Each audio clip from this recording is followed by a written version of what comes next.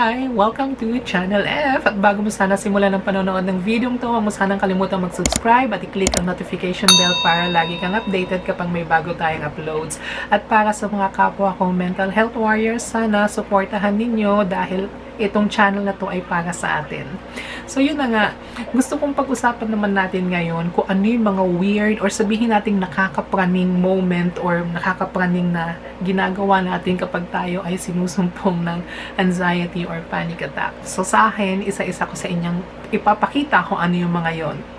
So unang-una, nakakahiya mang aminin, pero bumili ako ng pang BP although normal naman siya na ginagawa ng mga tao, halos lahat naman nata ng tao ngayon merong pang BP. Pero kasi kaya siya naging weird para sa akin kasi any moment or any time na lumalabas ako, daladala ko siya. Imagine, napakalaki neto. So, yan. Although hindi ko nakasama tong kahon, ito lang siya.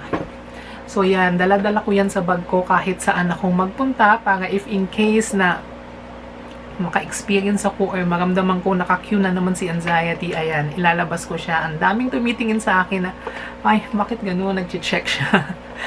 Pero isa yan sa ginagawa ko. And then, siguro nung time na na-realize ko na, ay, parang pinagtitinginan ako ng mga tao, parang nakakahiya, lumevel up tayo.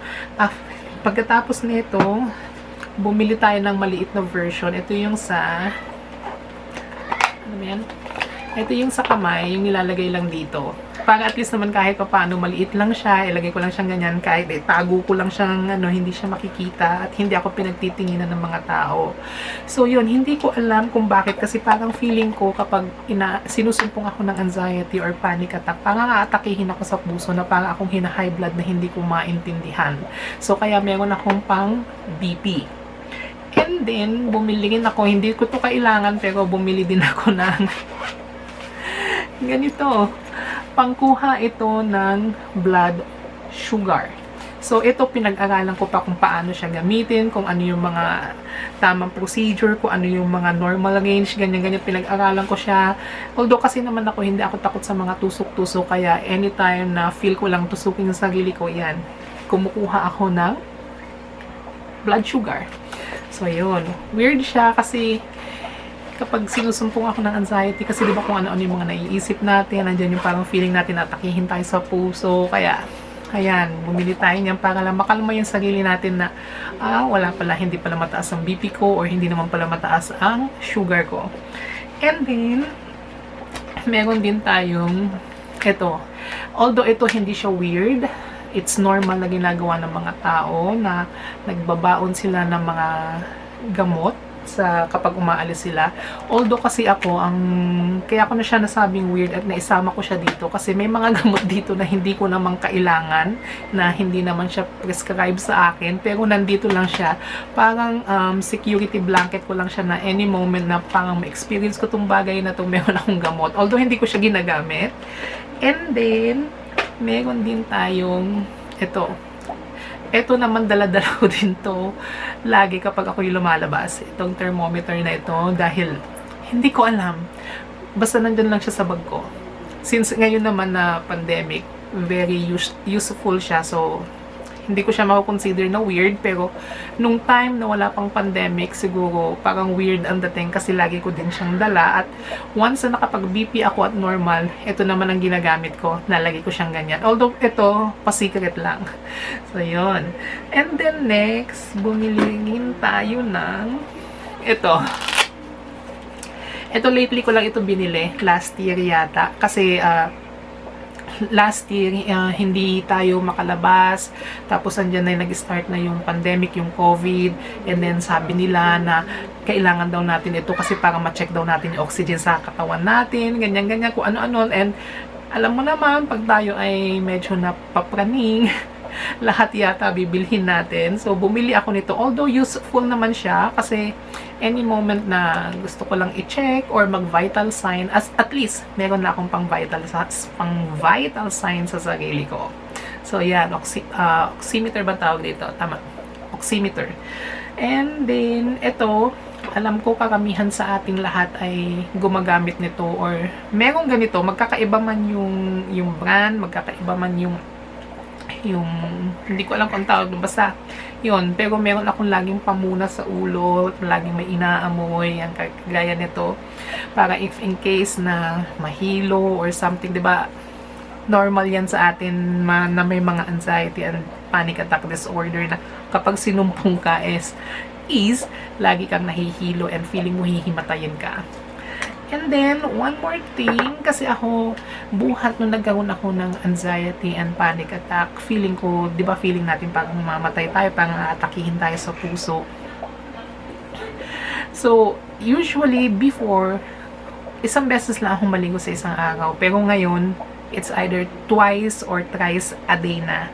Kasi parang feeling ko na, lalo-lalo na kapag naka-cue na si anxiety, parang feeling ko na mamamatay na ako, na parang feeling ko gusto ko nang, gusto kong mag, maligo para if in case man na matuluyan ako, at least nakaligo na ako. And at the same time, kasi ako mahilig ako sa mga punit-punit na damit.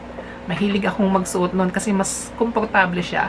Pero kapag naka-cue na si anxiety, mamimili na ako ng matinu-tinong damit para if in case man na isugod ako sa ospital or kung ano man ang mangyari, at least hindi naman ako mukhang basahan na punit-punit ang damit.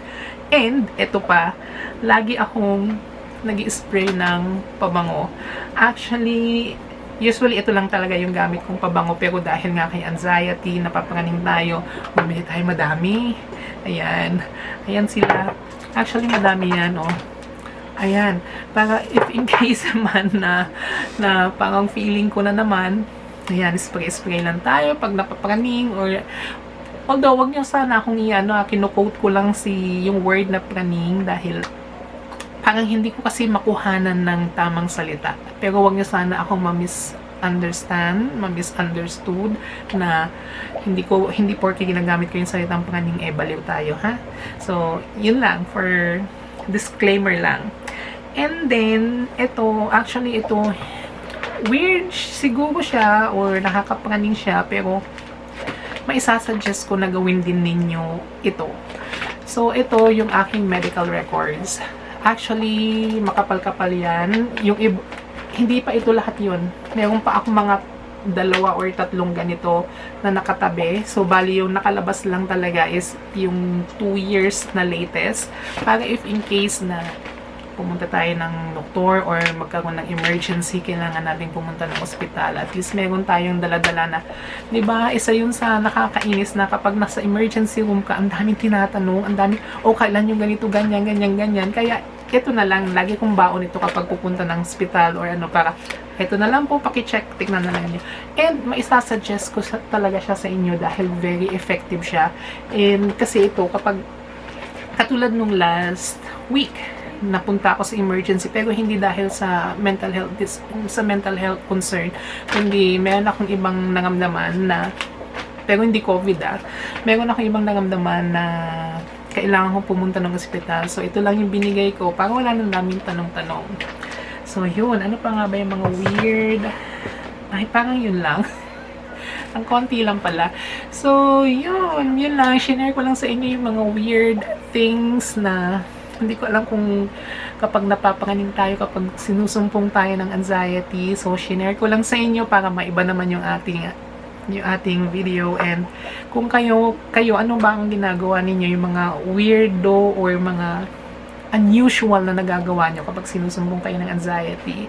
So, i-comment nyo na lang yan dyan sa baba at tignan natin na kung magkakaparehas tayo or kung may similarity o magkakaiba tayo ng ginagawa. Ayun lang. So, yun lang. Still nasa pandemic pa rin tayo kaya lagi tayo mag-iingat. Yun lang. Bye-bye!